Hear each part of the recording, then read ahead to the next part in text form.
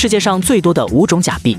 第五，卢比。在过去十年当中，印度储备银行共发现了四百二十七万张假钞，金额更是高达五百一十亿美元，而印度卢比真币的总额也就一千四百亿美元。照此推算，在印度流通的货币当中，假币就占了四分之一。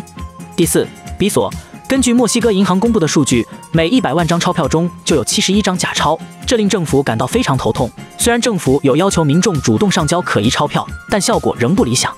第三，欧元是欧盟各个国家使用的货币，由于广泛在各国间流通，拥有假币的几率也大幅增加。根据数据显示，平均每二点三万张欧元纸币中就有一张是假钞，其中伪造最多的面额是二十欧元，其次为五十欧元。第二，美元。由于美元在国际的流通性与使用性上非常广泛，这导致了伪造美元一直以来是无法根绝的问题。其中伪造最多的面额是二十美元，海外为一百美元。